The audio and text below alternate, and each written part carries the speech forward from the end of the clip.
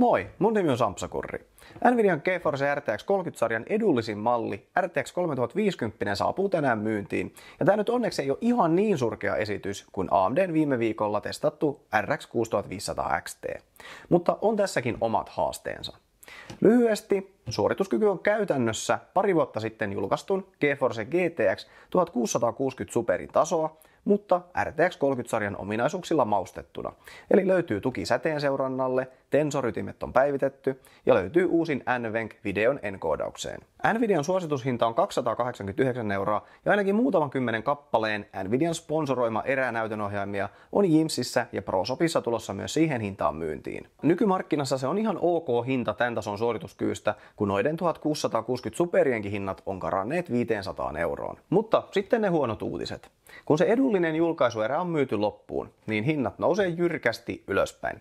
Näiden RTX 3050 näytönohjaimien todellinen markkinahinta on 450 eurosta ylöspäin jopa 550 euroon asti.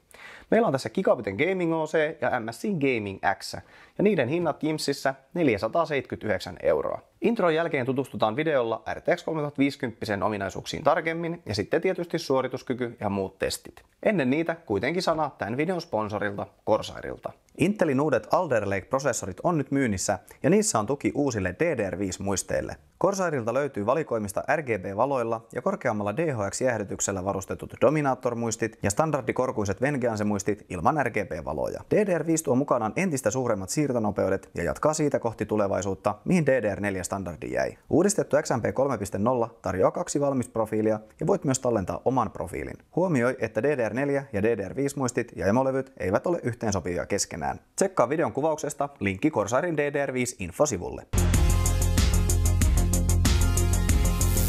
Tämä GeForce RTX 3050 käyttää samaa GA106 grafiikkapiiriä kuin RTX 3060, mutta CUDA-ytimet on karsittu 2560, RT-ytimiä on 20 ja tensoriytimiä 80. Muistiväylä on 128-bittinen ja sen jatkeena on 8 gigatavua näyttömuistia, eli riittävästi nykypäivän uutuuspelien pelaamiseen.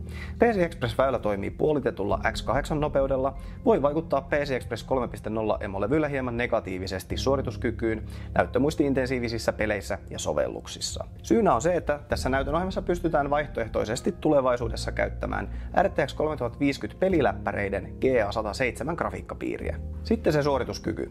Testeissä meillä on ensisijaisina vertailukohtina pari vuotta sitten julkaistu GeForce GTX 1660 Super ja isoveli RTX 3060. AMD-leiristä mukana on RX 6600 ja viime viikolla testattu RX 6500 XT.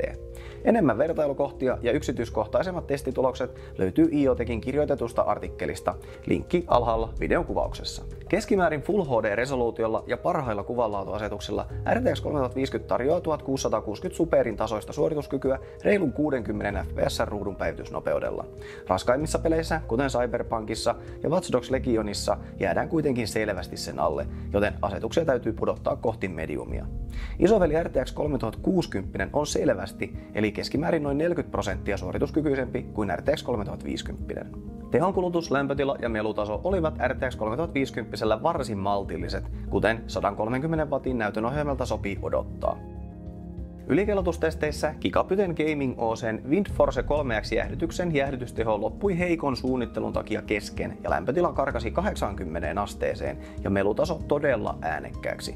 Suorituskyky ylikellotettuna parani noin 9 prosenttia. Sitten loppuyhteenveto.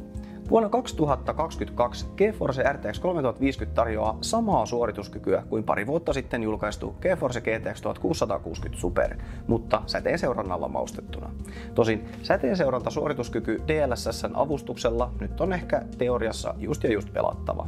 Näyttömuisti on 8 gigatavua ja suorituskyky riittää suurimmassa osassa pelejä sinne 60 fps tienoille, mutta raskaimmissa peleissä pitää kuitenkin pudotella kuvanlaatuasetuksia. Nykyisessä markkinatilanteessa 289 euron suositushinta on ok, ja siihen hintaan tätä näytönohjainta voi suositella, jos sen suorituskykytaso on itselle riittävä. Valitettavasti, kun noin muutamat kymmenet kappaleet julkaisuerää on myyty, niin hinnat tulee pomppaamaan reilusti, eli mallista riippuen 400-550 euroon. Sitten ei enää voidakaan puhua kovin hyvästä hintalaatusuhteesta, jos peilataan menneisyyteen. Mutta Valitettavasti tämä nykyinen heikko saatavuus ja korkeat hinnat on nykyisyyttä, eli uusi normaali. Jos ei siitä julkaisuerästä saa hankittua näytönohjainta, niin te koittaisi metsästellä reilun 500 euron budjetilla kohtuuhintaista RTX 3060. Sen verran parempaa suorituskykyä se kuitenkin tarjoaa. Mutta joo, semmonen oli RTX 3050 testi ja aika lailla varmaan viimeisiä RTX 30-sarjan näytönohjaimen testejä. Jotain Nvidian spesiaaleja eli päivitettyjä TI- ja supermalleja sieltä voi vielä tulla, mutta isossa kuvassa seuraavaksi te kohti RTX 40-sarjaa. Jos tykkäsit videosta, niin heitä yläpeukku, ja jos tämmöiset suomenkieliset tekniikkaiset videot kiinnostaa, niin tilaa ihmeestä meidän kanava. Kiitos. Lisää rautaa taas seuraavalla videolla. Moro!